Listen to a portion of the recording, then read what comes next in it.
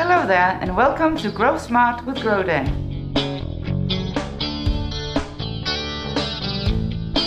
This video is designed to show you how to start growing plants in Grodan. Whether you start with seedlings or cuttings, the process is still the same. I've already cleaned these two trays with a bleach solution to remove any fungi or disease left over from previous uses. Afterwards, I rinse them thoroughly with plain water to remove all chlorine residue. I pre-soak these in pH 5.5 and then put them in my tray. Here is a closer look at this fantastic tray I'm using. It's one of Grodan's newer products. It's extremely durable and heavy duty, but the best part is it's dual purpose. Look, you can use this side of the tray for grow blocks, mini blocks or whatever, and you can flip it over and use this side for micro plugs in AOK starters to be placed in individual cells. And this lip holds the product in the perfect position above the water line. You'll definitely get your money's worth with this top of the line tray. Now some of you people out there squeeze the water out of the plugs. Not a good idea. Naughty, naughty. The plugs are not too wet. Squeezing them just ruins the nice air pockets that the tiny roots will need. Now about plant food. You can always propagate with just water initially. Or you can soak the cubes in a weak nutrient solution, around a quarter strength of the bottle recommendations, or use rock wool soak solution. Now the last thing to do is to clean the table.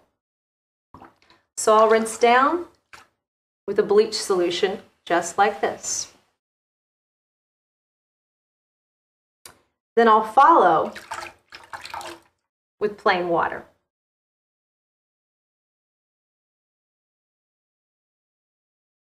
And dry it down with a paper towel.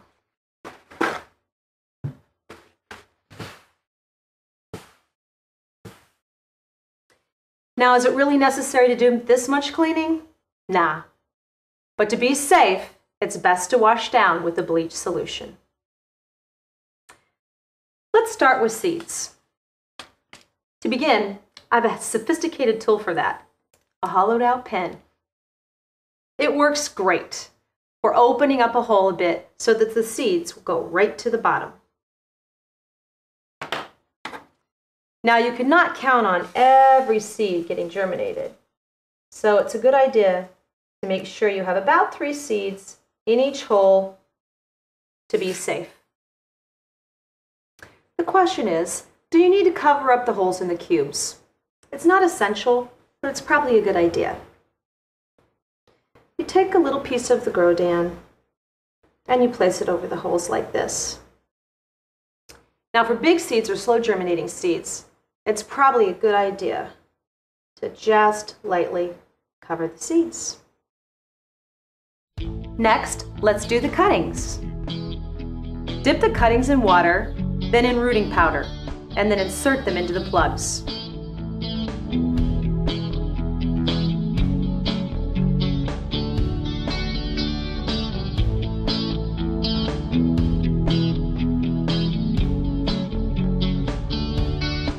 In place of rooting powder, you can also use rooting gel. Just be careful to gently scrape any excess gel off the cuttings. Too much gel at times can cause stem rot.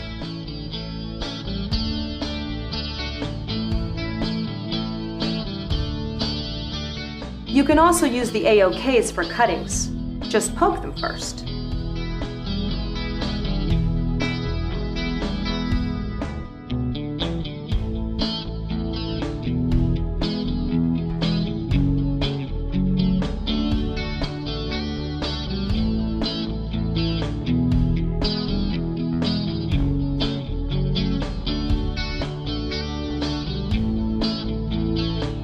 For bare root cuttings, it is best to use the macro plugs so you do not damage the root tips.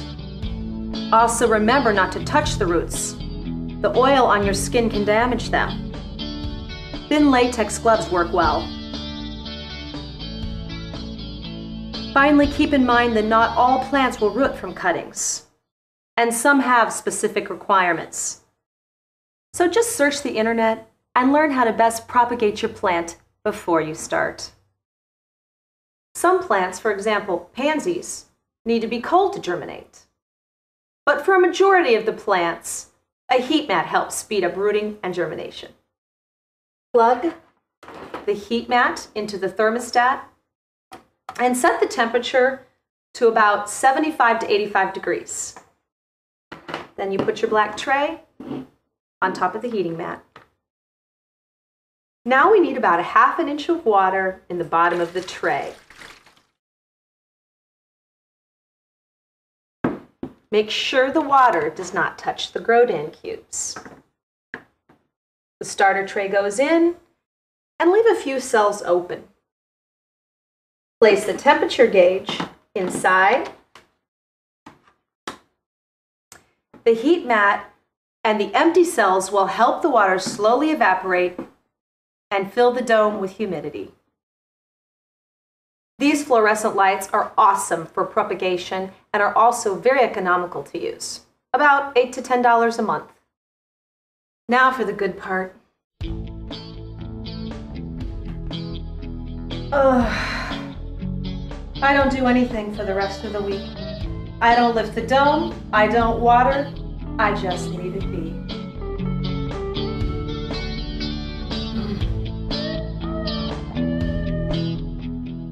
Once the first week is over, I miss the cubes. A little extra on the corners because they tend to dry out first. You can also set a garden hose on mist. Either way. Once the seedling has germinated or the cutting is stuck, once you gently tug on it, then it's time to give them some food. Again, remember a quarter strength nutrient. Then you place the dome back on for a couple more days. Remember to open the vents so the seedlings can get used to less humidity.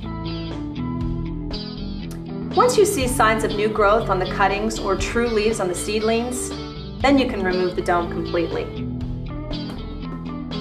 Keep the cubes moist until you have roots about one inch below the plug. Notice I still keep the plugs from sitting in the water. Your plants are now ready for transplanting, are potting up as some might say. More about that in the next video. Thank you for watching and I hope you have found this video to be beneficial to you. For additional information on this and other similar topics, please visit grodan101.com. The video that you have just watched is one of nine topics in the Grow Smart series. To access the others, visit our website now.